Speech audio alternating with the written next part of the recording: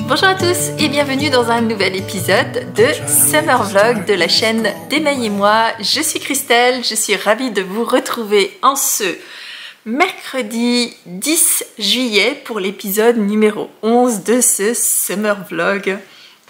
Alors, je vous retrouve aujourd'hui en compagnie et je vais vous montrer. Attention, ça va faire un peu de bruit. Aujourd'hui, je suis en compagnie de ma petite euh, Minette qui dort bien gentiment à côté de moi. C'est extrêmement rare parce que généralement quand je commence à parler, elle se lève en disant mais Christelle tu fais trop de bruit et elle s'en va. Mais là, j'ai l'impression qu'elle veut bien rester avec moi.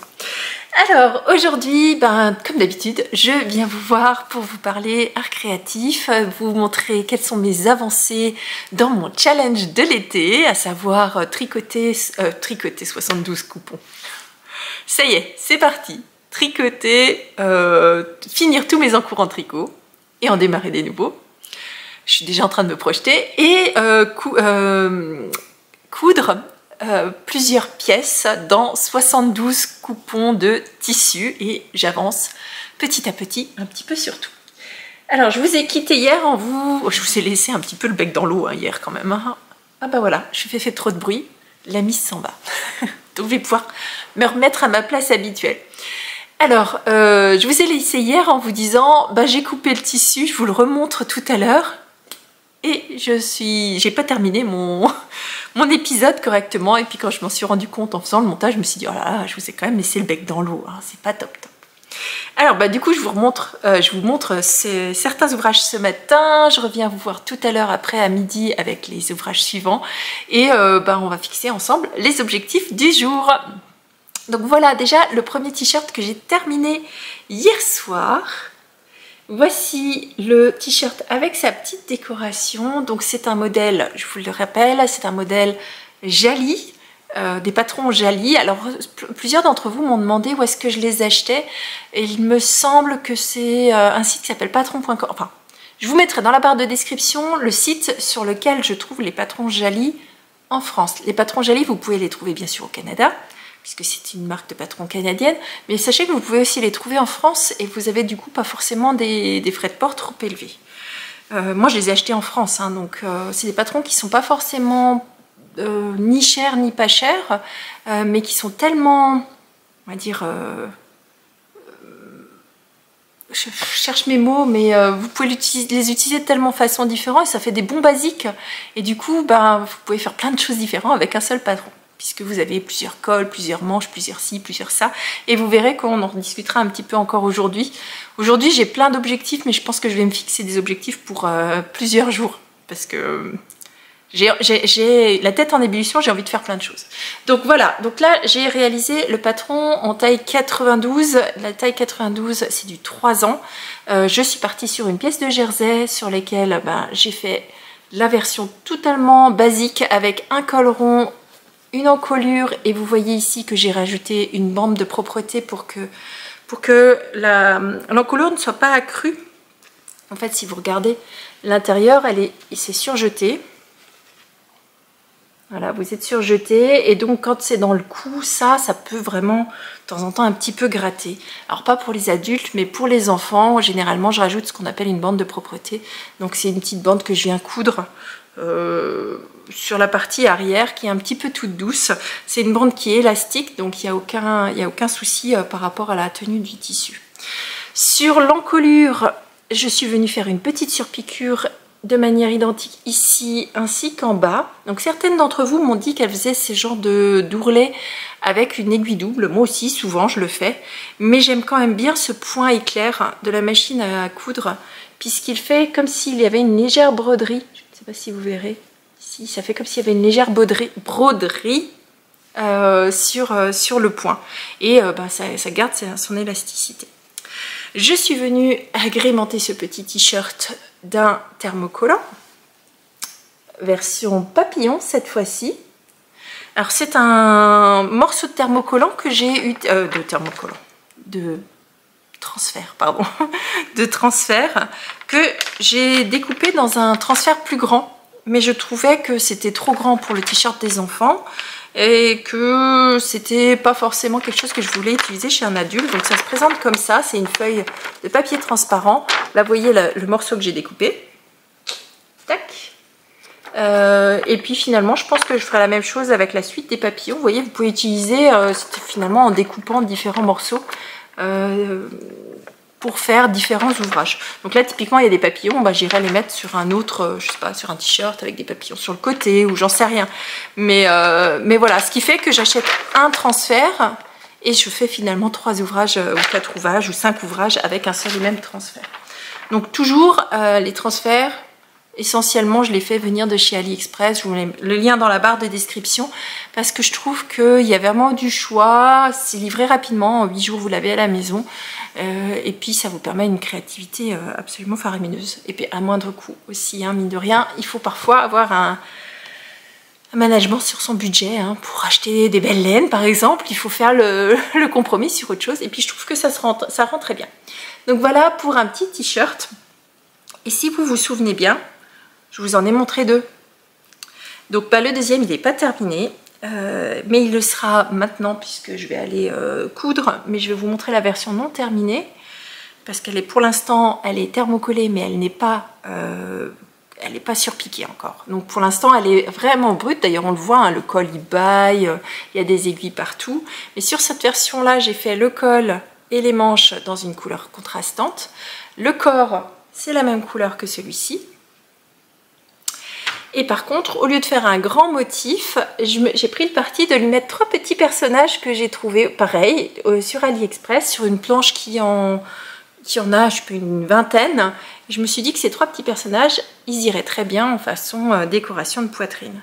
Donc là, ce qui me reste à faire, c'est l'ourlet, vous voyez que j'ai déjà épinglé. J'ai l'ourlet du bas qui est aussi épinglé. Pour que ce soit agréable à porter, j'ai fait un double rentrée.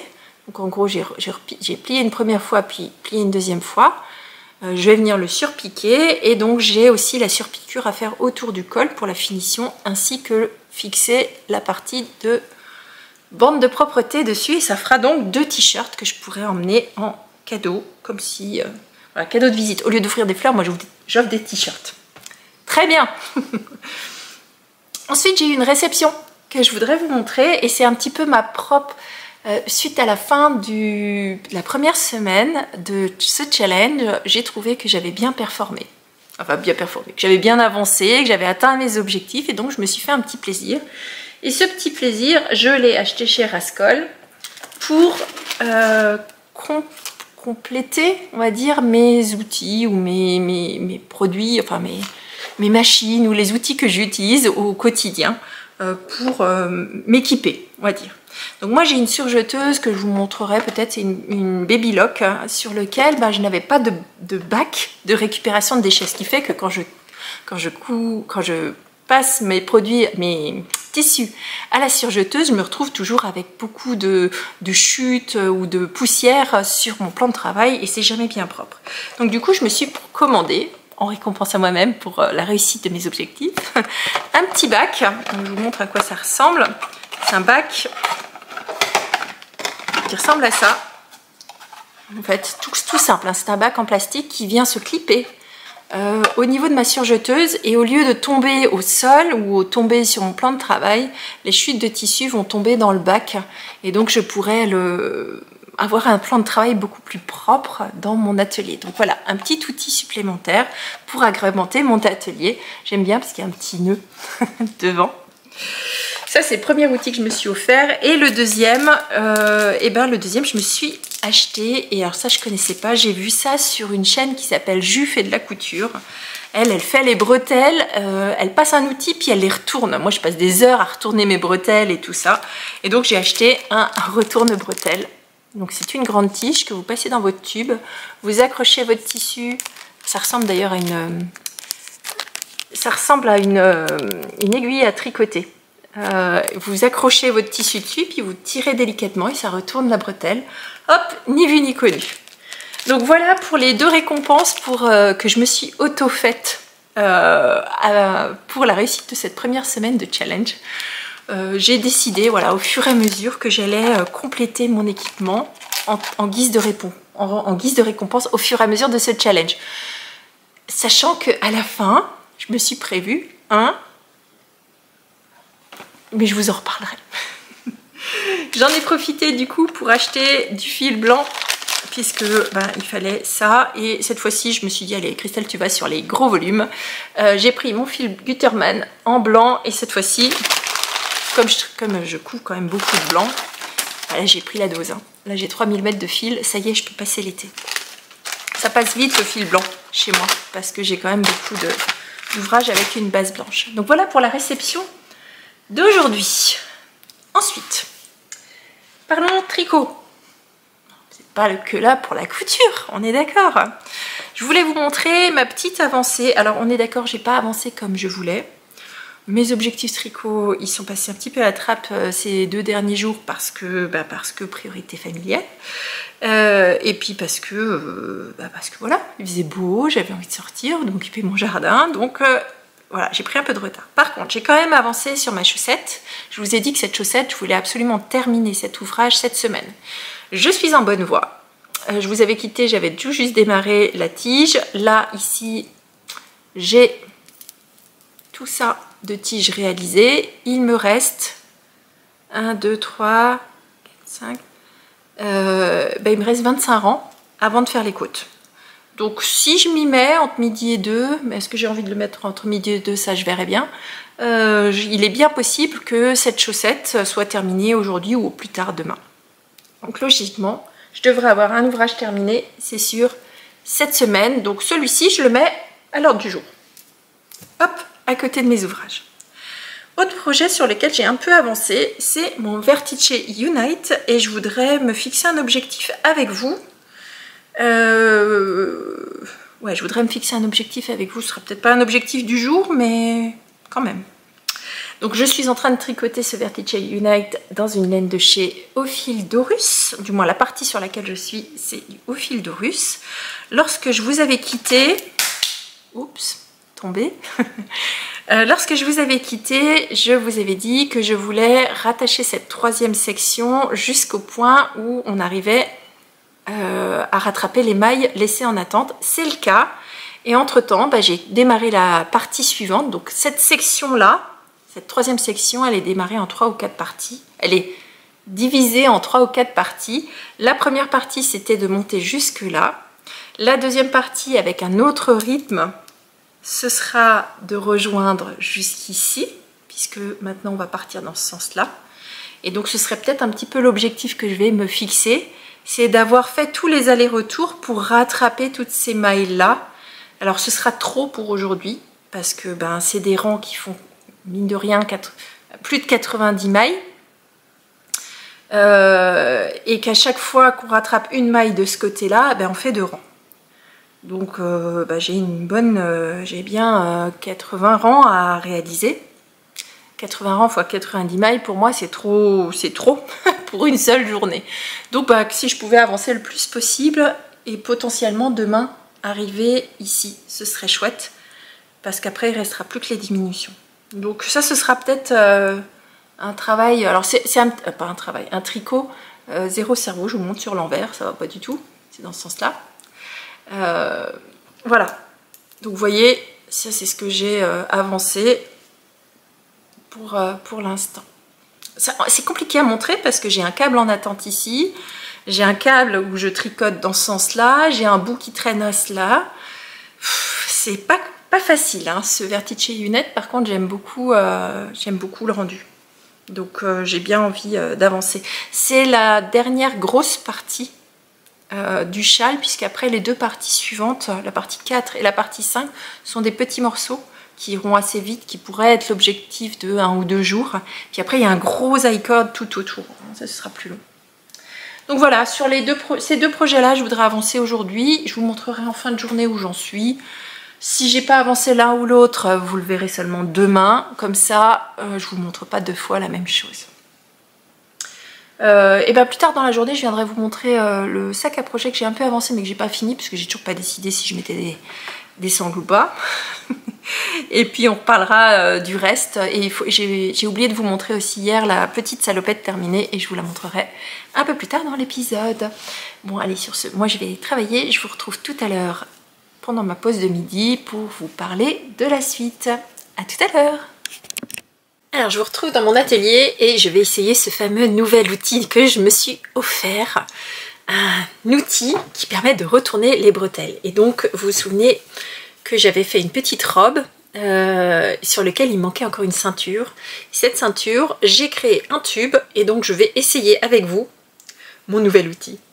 Est-ce que ça va être efficace ou est-ce que je vais continuer à pester pendant que je vais retourner mes ouvrages? Alors attention, donc il y a marqué qu'il faut faire comme ça, mettre le tissu dedans, ce qui est fait. Et maintenant, voyons voir ce que ça donne. Je pense qu'il faut démarrer pour enclencher le retournement. Après,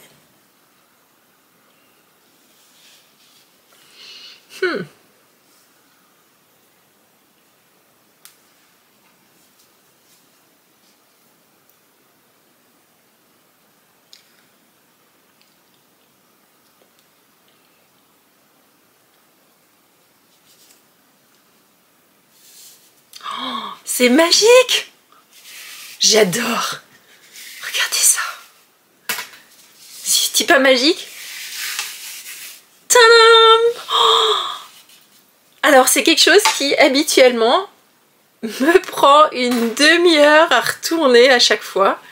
Me voici avec une bretelle retournée en l'espace de quelques secondes. J'adore. Bel achat, bel investissement Christelle. C'est bien.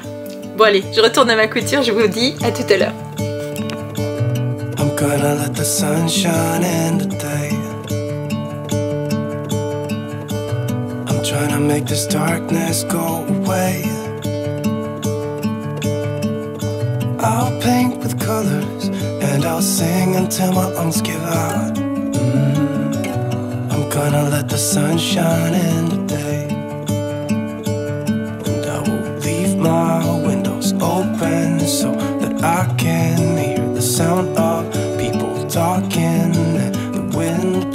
alors, deuxième objet que je vais terminer aussi aujourd'hui, je vais terminer ce petit leggings parce qu'il n'y a vraiment pas grand chose à faire et il n'y a qu'à monter l'élastique.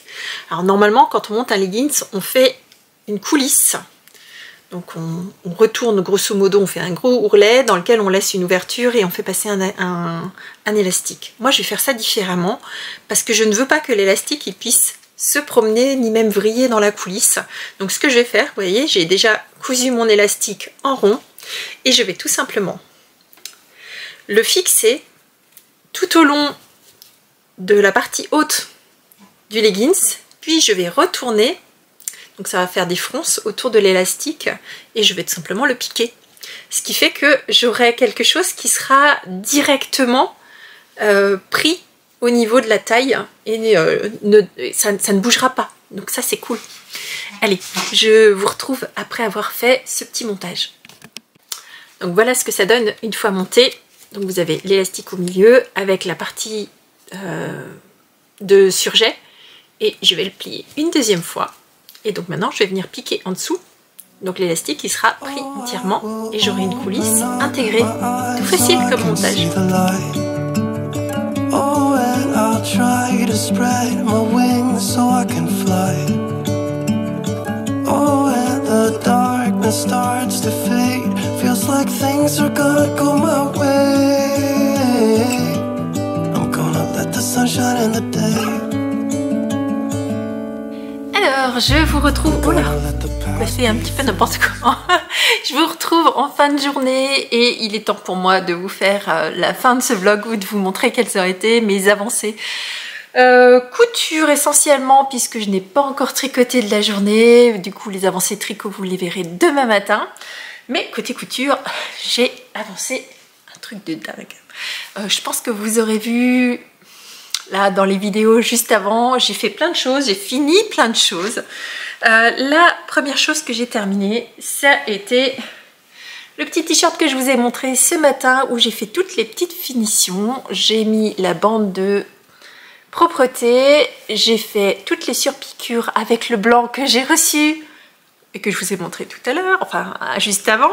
Donc un petit t-shirt terminé, finalement j'en ai deux, deux ouvrages terminés aujourd'hui. Enfin, hier soir et ce matin. Ensuite, je ne vous avais pas montré la salopette que j'avais terminée, je vous avais dit, je savais pas, bouton, pas bouton, est-ce que je gardais? Au final, j'ai mis trois petits boutons pour pouvoir permettre à la maman d'avoir quelque chose d'évolutif. Donc, elle va pouvoir, je vais vous montrer, démarrer avec une version toute petite, vous voyez, pour pouvoir régler la bretelle et au fur et à mesure que le bébé va grandir, elle pourra passer ben, sur le second bouton ou le troisième bouton. Donc là, vous voyez, les, bretelles sont toutes petites. Euh, au niveau du bas, j'ai mis des boutons pression pour pouvoir ouvrir et fermer assez rapidement la euh, salopette pour les changements de couches. Mais donc euh, voilà, je me suis dit qu'il fallait quand même que je vienne vous le montrer avant de l'emballer. Ça, c'est aussi un ouvrage terminé. Ensuite, aujourd'hui, on est dans les bébés, mais vous allez voir après, après je passe sur de l'adulte. Euh, autre chose que vous m'avez vu faire, c'était la fameuse petite ceinture que je voulais rajouter sur la, robe chasuble. Donc la robe chasuble, je vous l'avais déjà montré, c'est celle-ci. Et j'avais dit, ben, je vais faire euh, une petite ceinture. Et sur cette ceinture, que je vais vous montrer, qui va être comme ça, hop, que je vais pas accrocher à la robe parce que comme ça, la maman, elle fera, elle, mettra ou elle mettra pas en fonction de ce qu'elle a envie. Euh, par contre, euh, bah, j'ai testé mon outil, c'était génial Ça y est, je veux faire des bretelles partout. Euh, et à cette ceinture, j'ai rajouté des petits embouts qui normalement sont sur les, bouts de lacet ou les bouts de, de petites cordelettes. Et je me suis dit que pour la ceinture, ça faisait une petite décoration bien sympathique. D'autant plus que dans le tissu de la, robe, on y retrouve quelques petites touche de doré bronze. Je me suis dit que voilà, un petit coup de peps à cette ceinture, ce serait parfait. Donc ça c'est pareil, ça va aller rejoindre ma petite boîte à cadeaux qu'on va emmener à Lyon avec sa petite ceinture aussi. Donc la ceinture je l'ai fait quand même relativement longue, sans que ce soit non plus trop long.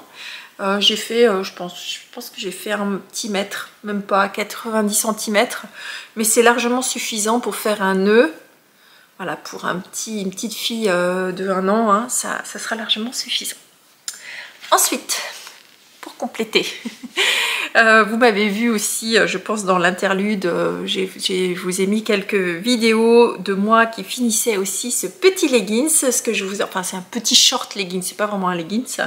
Et sur ce leggings, je lui ai rajouté la petite finition qui va bien. Cette fois-ci, je lui ai mis un petit lapin sur le bas de la jambe, ce qui permettra à la maman soit de le porter juste avec un t-shirt, soit quand le bébé sera plus grand, enfin la petite fille sera plus grande, le porter en version tunique en dessous de sa robe chasuble. Donc ça aussi. Et, comme, euh, comme il y a le petit rappel au niveau des, au niveau des emmanchures et du col, c'est parfait pour le petit cadeau. Ensuite, j'ai alors, je vous le montre, mais il n'est toujours pas fini. Par contre, j'ai pris une décision sur le sac à projet. Alors, j'ai monté la doublure, elle est présente ici, ça ressemble à rien. Par contre, je voulais vous montrer que moi, quand je fais les doublures, je laisse toujours au fond un trou. Parce que c'est ce qui me permet de retourner entièrement mon ouvrage et il me reste du coup à la main à juste fermer une petite dizaine de centimètres et donc ça fait des coutures complètement invisibles. Donc mon sac est prêt avec les, coulisses euh, pour pouvoir faire passer les, câbles. Et au final, j'ai décidé de rajouter des... une lanière. Parce que, euh, pas une lanière, une, euh, une anse. Parce que clairement, finalement, je me dis que c'est quand même un sac qui est assez grand. Et si je lui mets pas de lanière, eh bien ça va de anse pardon ben ce sera peut-être moins pratique donc par contre je sais exactement comment faire les, euh, anses, je vais faire un mix entre ce tissu et les passepoils pour faire un tout petit rappel, un tout petit quelque chose de, euh, petit, de trucs qui brillent, hein. on est d'accord, on est sur de l'argenté. Euh, et donc ça, bah, malheureusement, enfin c'est pas malheureusement, c'est que je vais aller le faire maintenant. Je vous le montrerai, je pense, demain, parce que clairement, je ne peux pas monter la doublure tant que j'ai pas mis, tant que j'ai pas installé les, anses puisque je vais les intercaler entre le tissu et la coulisse pour être sûr que tout soit bien pris en un seul morceau et qu'il n'y ait pas de surpiqûre euh, disgracieuse. Donc voilà, ça vous le verrez demain, ce sera certainement terminé d'ici là. Ensuite, parce que alors là pour le coup j'ai fait plein de trucs, j'étais hyper productive. J'ai démarré enfin, vous vous souvenez, j'ai coupé un short pour ma fille, un short qui est issu du magazine Fibre Mood. Euh, je l'avais laissé de côté parce que je voulais absolument finir ces petites euh, tenues à offrir puisque le bébé était arrivé un peu plus tôt que prévu.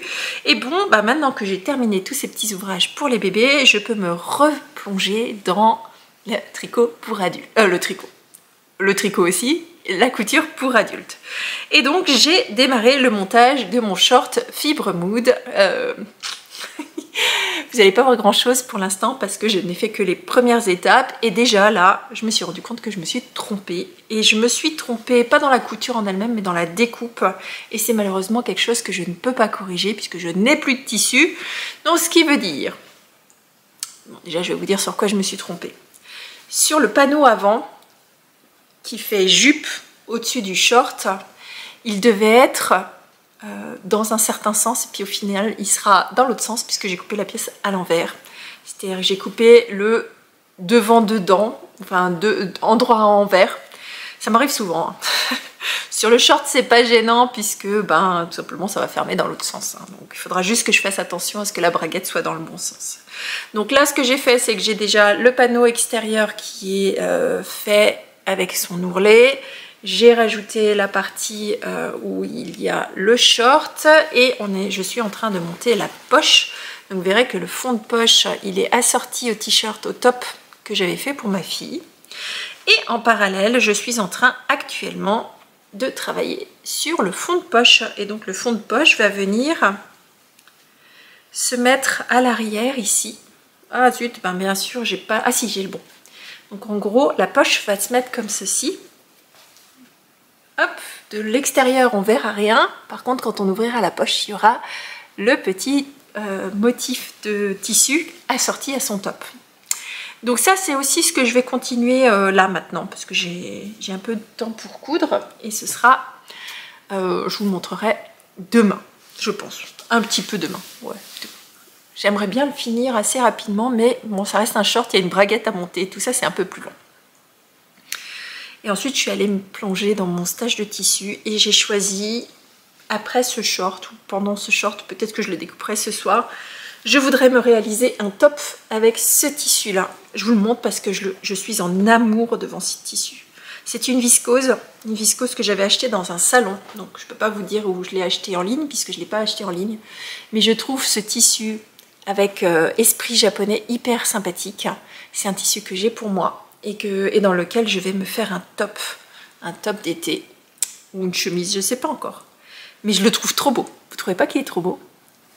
Je le trouve magnifique. Donc voilà, ça ce sera un ouvrage que je vais, ce sera mon prochain coupon que je vais coudre et cette fois-ci je vais coudre quelque chose pour moi parce que bon bah clairement j'ai pas beaucoup cousu pour moi. Sachant j'ai deux hommes à la maison qui sont en train de toquer au portillon. Mon garçon me dit, dis donc, euh, t'en as pas marre de faire des choses pour ma, soeur, moi je voudrais bien aussi quelque chose. Et mon mari me dit, ah, si tu as l'occasion, ce serait aussi bien que tu me fasses des trucs. Bon bah voilà, bon bah vous verrez aussi de la couture euh, homme, puisque mon ado lui fait 1m75, euh, donc forcément il est déjà en taille homme. Donc vous verrez aussi bientôt de la couture homme sur cette chaîne. Voilà, enfant, bébé, fille, euh, adulte, jeune fille toute fine, euh, jeune dame, euh, non, ouais, jeune dame peut-être plus, mais dame de, voilà, d'un âge intermédiaire. Et puis de la couture homme aussi, bon bah forcément, vous allez avoir un peu de tout. Bon, sur ce, moi je m'en vais me poser devant un podcast. Avant d'aller coudre, je pense que je vais d'abord me poser devant un podcast pour tricoter. J'oublie pas mes objectifs tricot. Euh, parce que j'ai trop envie de finir pour pouvoir démarrer des nouveaux trucs. Moi, il me reste à vous souhaiter une très bonne journée. J'espère que ce vlog est pas trop long. J'ai l'impression d'avoir énormément papoté et filmé aujourd'hui. Donc j'espère qu'il n'est pas trop long. Euh, je vous donne pas de consignes pour aujourd'hui, pour les emojis, mais j'aimerais que vous me mettiez quelque chose que vous avez envie de partager avec moi. Je sais pas. Une passion, euh, une autre que le tricot. Qu'est-ce que vous faites d'autre, par exemple, que le tricot Est-ce que vous aimez cuisiner? Est-ce que vous aimez jardiner? Est-ce que vous aimez courir? Est-ce que vous aimez faire du sport? Est-ce que vous aimez voyager? Euh, Dites-moi dans les commentaires. Moi, vous savez que bah, je suis une créative.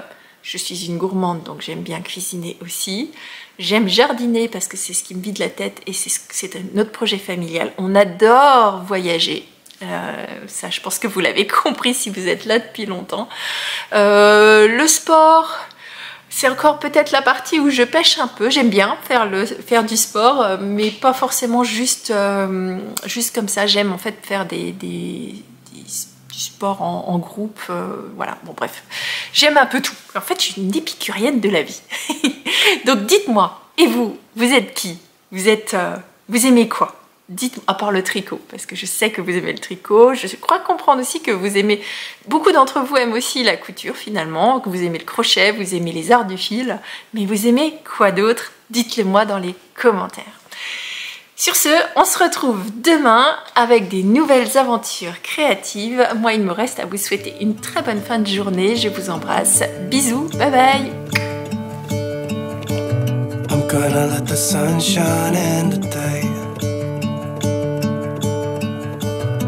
Trying to make this darkness go away.